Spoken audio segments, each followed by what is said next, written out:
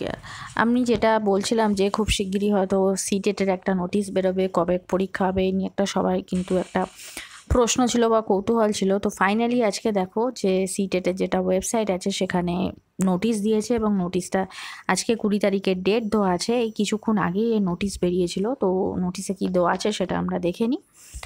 The Central Board of Secondary Education will conduct 16th edition of Central Teacher Eligibility Test CTET in CBT mode দেখো, অনেকে অনেক জায়গায় দেখছিলাম বা অনেক জায়গায় আমরা সবাই কম বেশি নিউজেও দেখছিলাম যে হয়তো পেপার গতবারে যেহেতু সিবিটি মোড হতে কয়েকটা শিফট ক্যান্সেল হয়েছিল, অসুবিধা হয়েছিল, তো বলা হচ্ছিল যে আবার হয়তো সেটা অফলাইনে হবে।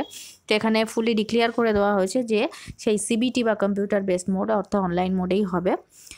এক্সাম কবে হবে?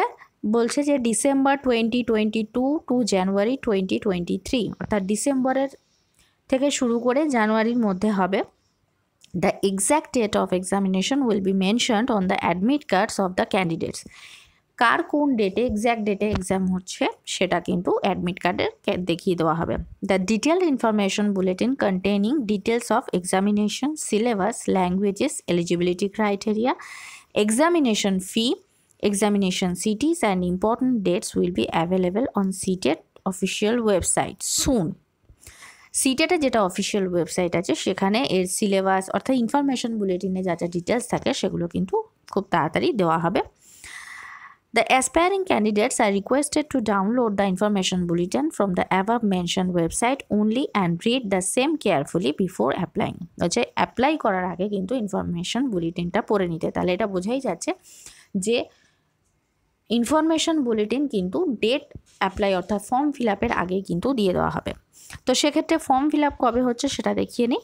The online application process will be start from thirty first October Monday onwards the last date of submitting online application is twenty fourth November Thursday up to twenty three hours অর্থাৎ রাতে এগারোটা উনষাট পর্যন্ত বলা হয়েছে।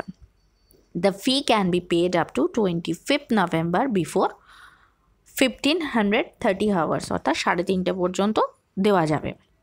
The application fee CTET December is under general and OBC category paper only for paper one অর্থাৎ একটা পেপারের জন্য সেটাও পেপার ওয়ানও হতে পারে বা পেপার টু হতে পারে, তাহলে ওয়ান থাউজেন্ড এবং এসসি এসটি এবং ডিফিকাল্টিস এবল পার্সেন্টের জন্য পাঁচশো টাকা করে এবং যারা দুটো পেপার একসাথে দিতে চাও তাদের জন্য জেনারেল এবং ওবিসিদের জন্য বারোশো টাকা এবং ক্যাটাগরি পার্সেন্টের জন্য ছশো টাকা করে। The candidate must note that the examination city of their choice will be allotted on first come first serve basis only as per availability of capacity in the city of examination এখানে কিন্তু এই জিনিসটা mention করে দেওয়া হয়েছে যে যত তাড়াতাড়ি মানে অর্থাৎ সিটের যে অ্যাভেবিলিটি আছে, সেই অনুযায়ী ফর্ম ফিল আপের রেট বা কে কত আগে তার সিটি প্রেফারেন্স যেটা চুজ করবে, সেই অনুযায়ী কিন্তু তার সেন্টার দেওয়া হবে।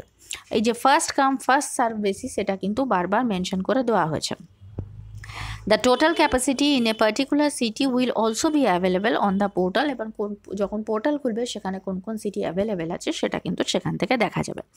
If the total capacity of a particular city is full during completion of application process or making payment of examination fee or updation of transaction on portal, the candidate will be given the option either or select any other city or cancel the transaction.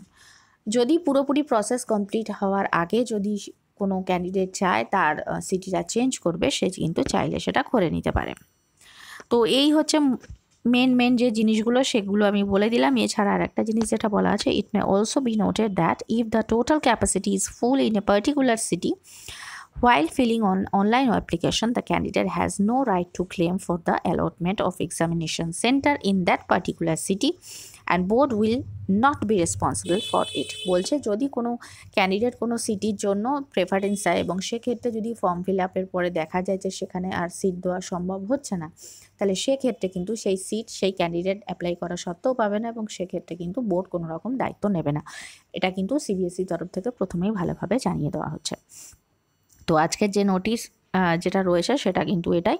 তাহলে এটা বোঝা যাচ্ছে যেহেতু form fill up শুরু হচ্ছে একত্রিশ তারিখ থেকে, তো আমরা এটা আশা করতে পারি আজকে কুড়ি তারিখ। তো এখনও হাতে দশ এগারো দিন বাকি রয়েছে, তো সে হিসেবে তো দশ এগারো দিনের মধ্যেই কিন্তু আমরা যে সিটেটে যেটা ইনফরমেশন বুলেটিন সেটা কিন্তু আমরা পেয়ে যাব। আর তার সঙ্গে সঙ্গে আমরা যেরকম আমাদের চ্যানেলে রাজ্য টেটের সঙ্গে সঙ্গে পাশাপাশি সি টেটের প্রিপারেশান করছি, সেগুলো কিন্তু প্রাইমারি আপার প্রাইমারি একই সঙ্গে কিন্তু ফুলদমে চলতে থাকবে।